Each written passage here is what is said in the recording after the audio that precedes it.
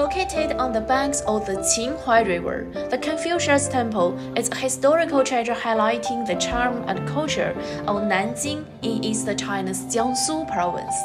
Come with me to experience the bustling atmosphere of the Confucius Temple during the May Day holiday. Confucius Temple is a sprawling architectural complex consisting of major temples, halls, a food street, and so on. It is one of the most popular tourist attractions in China during the May Day holiday.